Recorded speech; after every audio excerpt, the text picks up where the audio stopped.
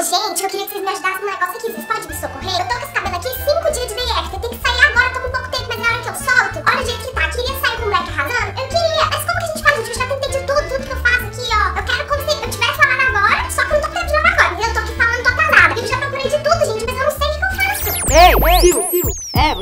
Presta atenção aqui. É, Realmente, não vou negar, o seu cabelo tá precisando dar um jeito aí. Mas é que eu ouvi dizer que a Ana Lid acabou de postar um vídeo no canal dela agora, dando dicas pro que você quer. Por que, que você não para de reclamar e vai assistir o vídeo dela agora? Pode ser? Então, bora assistir.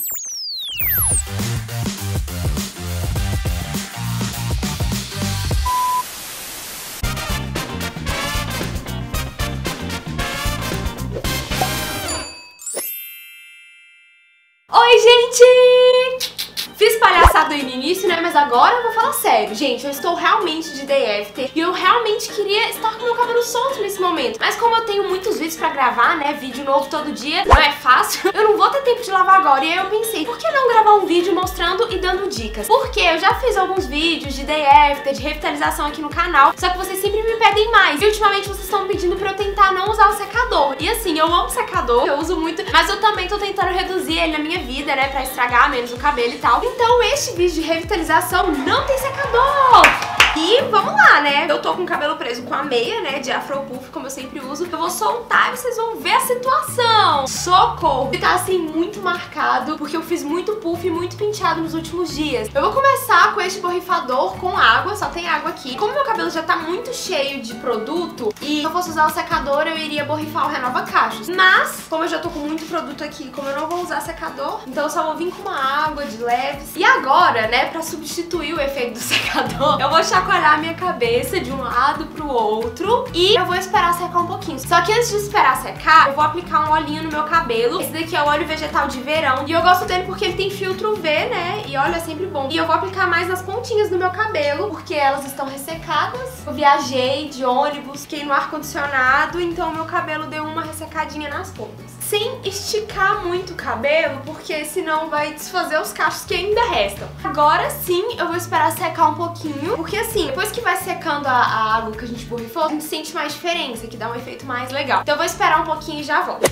Voltei, eu fiquei aproximadamente esperando uns 5 minutinhos, mas aí vai do seu cabelo, né? Tem cabelo que vai secar mais rápido, outros não, enfim. E agora, o que que eu vou fazer? Normalmente no meu day after, o que que eu faço? Pego essa gelatina de day after, misturado com um crespíssimo poderoso. Eu faço uma misturinha, jogo a cabeça pra baixo, aplico e amasso, assim. Eu gosto bastante. Só que hoje eu quero fazer uma coisa sem usar um gel e algo que dê mais atenção nas partes do meu cabelo que estão sem definição. Então eu escolhi usar um ativador de cachos. E por que que eu peguei ele? Porque ele é um produto que tem óleo e manteiga de coco. E pelo fato de ter óleo de coco, ele desliza muito bem no meu cabelo. Vocês vão ver enquanto eu for fazendo. Daí pro seu day after é bom você escolher um produtinho assim que deslize mais, que seja mais fácil de você fazer o que a gente vai fazer agora. Que basicamente é dedo liso em algumas partes do meu cabelo. Eu tô rotando. e aí, Agora eu vou espalhar assim na minha mão. Vou começar em algumas partes aqui que eu vejo que estão mais necessitados. Eu tô dando uma espalhada aqui em algumas mechas, depois eu volto. Eu vou fazendo tipo uma... Não é bem uma fitagem, mas eu tô aplicando o produto aqui na mecha, tipo desembaraçando e amassar aqui novamente. Que os cachos já voltam a definir, ó. O dedo liso é só você, ao invés de amassar, eu vou fazer isso aqui, ó. Aqui faz o cachinho. E aí agora eu vou repetindo este mesmo processo em todo o cabelo. Na verdade, não em todo o cabelo, né? Nas mechas que eu sinto que precisam mais. Mas geralmente é mais na frente que eu faço.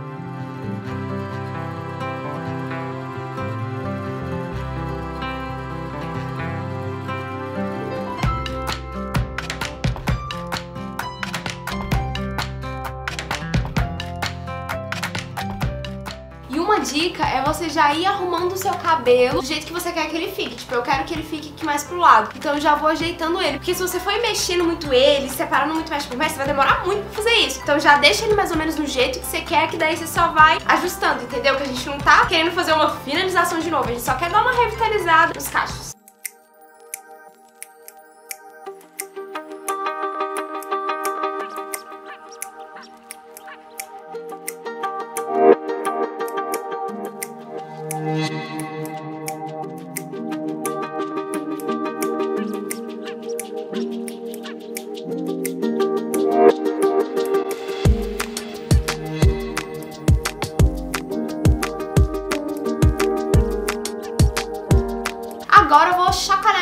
De um lado pro outro.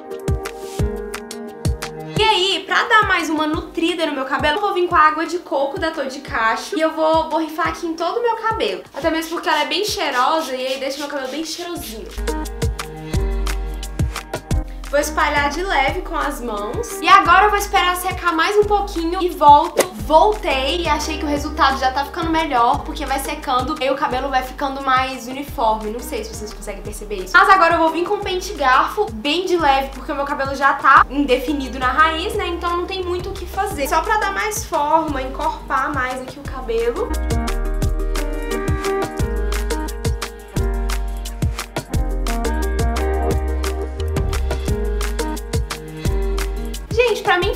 É isso aqui. Caraca, sério, não parece nem o mesmo cabelo do início do vídeo, não. E é isso, eu espero que vocês tenham gostado da dica dessa revitalização no DFter sem usar secador. Não esquece, né, de clicar em gostei, de se inscrever aqui no canal e de me contar nos comentários o que, que vocês acharam. Tá tendo vídeo novo todo dia aqui no canal esse mês, então se inscreve, ativa o sininho. Vamos comentar muito porque eu tô demorando muito pra vocês. É isso, um beijo e tchau!